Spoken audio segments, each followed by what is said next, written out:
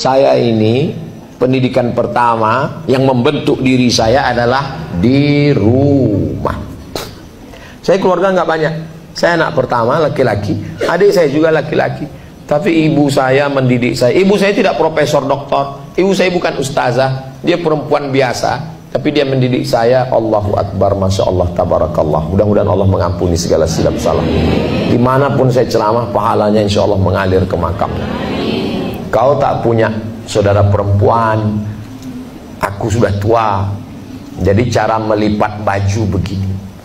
Baju putih itu Kau gosok pakai sabun telepon. Tahu bu sabun telepon? Pakai sabun telepon habis itu jemur. Jangan sampai kering. Jemur sesudah panas kucek-kucek. Biar supaya putih dakinya lepas. Malu kita kalau sekolah nanti kau entah ke mana jauh dari aku baju kau kotor kalau nggak ada setrika baju jangan kau peras kau pukul-pukul kau jemur. Kalau tak ada setrika kalau ada setrika kau gosok cara gosoknya gini cara ngelipatnya begini. Kalau mandi anduk nggak boleh diletakkan di atas tempat tidur. Sampai hari ini kalau saya di hotel Pernah suatu hari terlemparkan saya tempat tidur. Nampak saya wajah mak saya marah.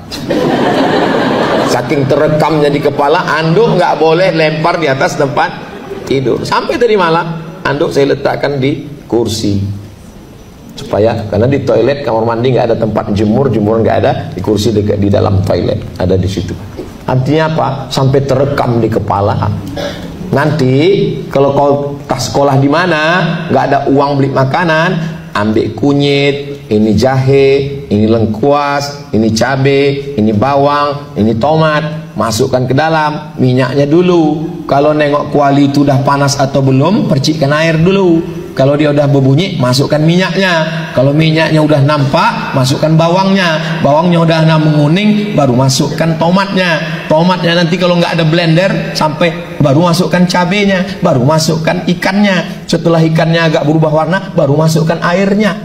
Sampai masak pun diajarkannya. Kalau kau nanti mencuci, kalau ada kebetulan mesin cuci, masukkan ke dalam, tapi jangan campur dengan najis bedakan pakaian yang ada najisnya. Karena nanti kalau kau pakai sholat dia mutanajis. Sekarang apa yang terjadi? Ibu-ibu perempuan tidak mengerti karena di rumah tidak didik dengan baik.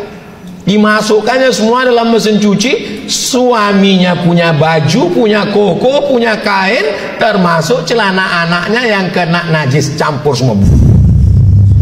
Macam di bioskop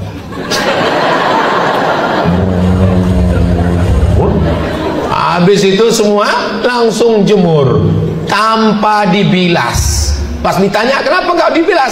Sekali kucek tanpa bilas. Itu baju nggak bisa dibawa sholat karena muta najis, airnya menjadi najis, mesti dibilas. Nanti baju kain koko kau bilas di si bilasan air air terakhir itu kau baca selawat Allahumma sholli ala sayyidina Muhammad wa ala ali sayyidina Muhammad kalau kau sakit, kau demam, jangan kau banyak makan obat, nanti rusak buah pinggangmu, nanti kau sakit, kau ketergantungan obat. Kau cari itu bunga kembang semangkuk, kau cari gula batu, kau cari itu selasih, kau siram air, kau letakkan, kau embunkan, besok pagi sebelum sholat subuh kau baca selawat, kau minum.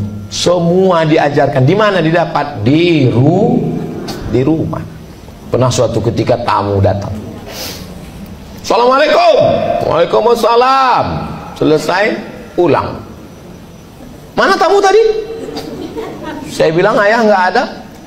Terus dia pergi. Kenapa nggak disuruh masuk?